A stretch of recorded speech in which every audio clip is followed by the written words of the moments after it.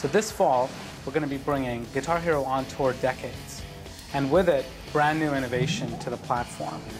For the first time, players will be able to song share between versions of the game. Song sharing is a, a, feature that allows me to take my version of Guitar Hero on tour and meet up with a friend or a relative who has a different version of Guitar Hero on tour, like Guitar Hero on Tour Decades, and we can share our songs with each other.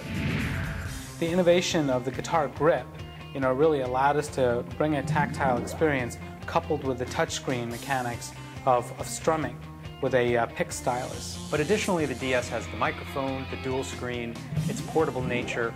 All of these aspects add to the unique experience that you get on the Nintendo DS.